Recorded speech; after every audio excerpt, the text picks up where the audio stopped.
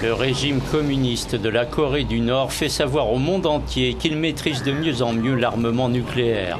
Son troisième essai a réussi et il se vante d'avoir utilisé un engin miniaturisé, ce qui inquiète fortement la communauté internationale. Selon l'agence de contrôle des essais nucléaires, l'explosion était d'une magnitude de 5 sur l'échelle de Richter.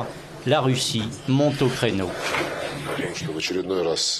Encore une fois, les autorités nord-coréennes ont violé la loi internationale et les résolutions du Conseil de sécurité de l'ONU, a constaté le ministre russe des Affaires étrangères. Inévitablement, cela entraîne une condamnation et une réaction adéquate.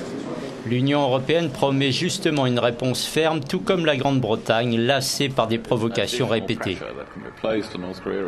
De nouvelles sanctions seraient bien sûr appropriées, a indiqué le chef de la diplomatie britannique.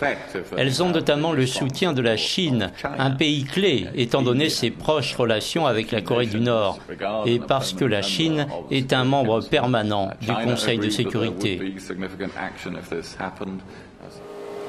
Le président américain Barack Obama a également appelé à une action internationale rapide contre le régime nord-coréen. Le Conseil de sécurité de l'ONU se réunit ce mardi pour tenter de réagir en bloc à l'essai nucléaire nord-coréen.